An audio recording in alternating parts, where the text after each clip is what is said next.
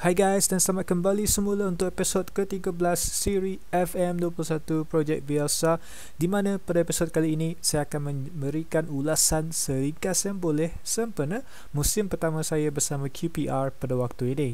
Ha, terlebih dahulu saya nak katakan yang saya tak sangka bahawa pasukan QPR ini mampu untuk sampai ke tahap yang kita telah jejak pada saat ini di mana kita bukan saja telah capai malah telah melepasi visi kelab yang diberikan oleh bot kita di awal musim tadi iaitu menamatkan kempen saingan liga di top half mencapai pusingan keempat dalam saingan Piala FA dan mencapai pusingan ketiga dalam saingan Carabao Cup.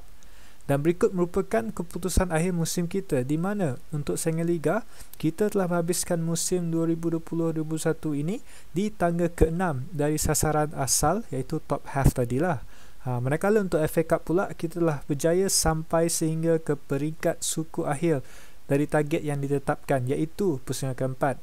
Selepas itu untuk Carabao Cup pula kita telah sampai sehingga ke peringkat separuh akhir dan melepasi target yang ditetapkan tadi iaitu pusingan ketiga.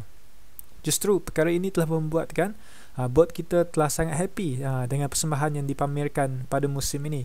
Kerana juga salah satu objektif okay, yang mereka telah tetapkan dalam visi kelab untuk tahun uh, 2024-2025 nanti uh, itu telah kita capai 4 tahun lebih awal. Ha, ternyata taktik luar biasa ini telah menjadi dan juga memainkan peranan sangat penting di dalam perkembangan pemain kita di dalam skuad QPR saya untuk musim yang pertama inilah ha, bukan saja ianya telah membantu membina skuad utama QPR selepas ketika ini Malah pemain bawah 23 tahun QPR juga telah mengecapi banyak kejayaan di dalam peringkat akademi mereka tersendirilah. Di mana baru-baru ini mereka telah memenangi playoff final Division 3 selepas berjaya menumpaskan Sheffield United bawah 23 tahun di final. Dan itu petanda yang baik untuk membantu dengan perkembangan mereka nanti di peringkat yang lebih tinggi kelak. Masih lagi dengan pemain bawah 23 tahun kita, Antara pemain-pemain bawah 23 tahun yang telah kita manfaatkan sepanjang musim 2020-2021 ini adalah penjaga gol Projowski, bek kiri Domi, pertahanan tengah Kali, pemain tengah Orafu, Betache dan juga Duncan. Pemain sayap pula Alpha, Duke McKenna dan De Silva. Dan akhir sekali penyerang Charlie Calvin. Jumlah keseluruhan yang telah membuat penampilan pertama serta melibatkan diri mereka bersama skuad utama QPR adalah 10 pemain ini tadilah. Okey dan yang paling menjelah pula adalah Audi Alpha ha, yang telah menjaringkan 10 gol dan 5 assist di dalam 33 penampilannya di mana 6 daripadanya adalah dari bangku simpanan. Ha, persembahan mantap yang telah dipamerkannya itu telah membuka laluan sangat baik untuk dia diserapkan ke dalam skuad utama nanti. Dan itulah yang akan saya lakukan untuk musim kedua yang akan datang nanti untuk Audi Alpha sebagai ganjaran untuk persembahan terbaik dialah di musim ini. Ha, dan seterusnya, ha, kemenangan terbesar kita pada musim ini adalah semasa menentang Stevenage dari Skybet League 2 di mana kita telah menang besar 5-0 semasa bertemu dengan mereka di saingan Piala Carabao Cup pusingan yang kedua. Manakala untuk perlawanan yang menjadi uh, bualan ramai sepanjang musim ini pula ianya merupakan uh, kemenangan 3-1 kita terhadap wakil daripada English Premier League tadi iaitu Aston Villa ha, yang kita jumpa juga di dalam saingan Piala Carabao iaitu semasa di pusingan suku akhir. Manakala untuk gol terbaik kelab musim ini ianya telah dimenangi oleh pemain sensasi muda bawah 3 tahun kita tadi iaitu Odi Alpha semasa menjadikan gol hat-trick pertamanya di dalam perlawanan menentang Blackburn yang berkesudahan dengan seri 3 sama di mana kita telah membuat comeback setelah ketinggalan 0-3 di separuh masa yang pertama. Ha, berkenaan dengan Situasi kecederaan pula, pemain skuad utama yang paling kerap cedera pada musim ini adalah bek kiri kita iaitu Todd Kane yang mengalami kecederaan sebanyak enam kali. Ha, manakala Luke Amos pula merupakan pemain dalam skuad utama kita yang paling lama dipinggirkan disebabkan kecederaannya iaitu selama dua bulan. Pemain bawah 23 tahun kita, Charlie Owens adalah yang paling lama secara keseluruhan ha, di mana dia terpaksa dipinggirkan selama enam bulan akibat kecederaan yang menimpanya sejak awal musim lagi.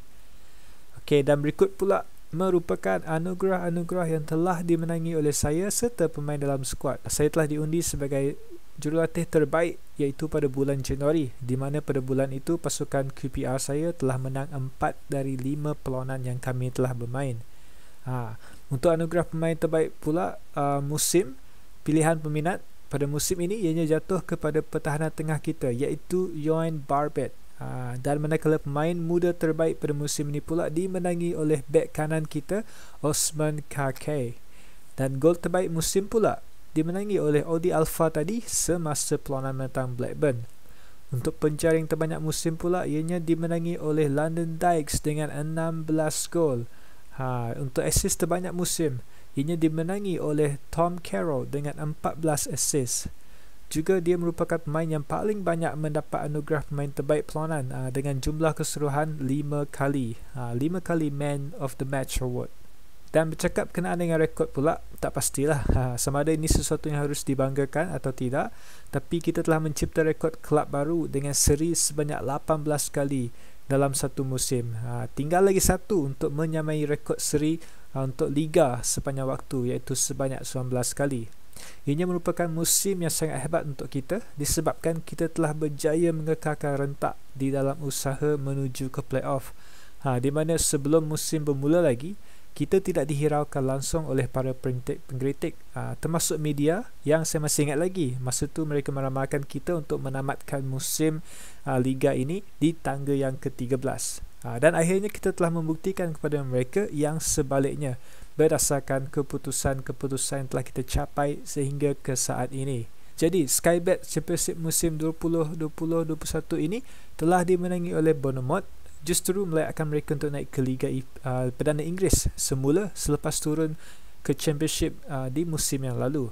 Manakala pasukan yang mengikuti mereka pula adalah musuh setempat kita, Brentford, yang menduduki tangga kedua sambil diikuti oleh pemenang playoff iaitu Reading yang telah berjaya menumpaskan Norwich di final pada hari itu.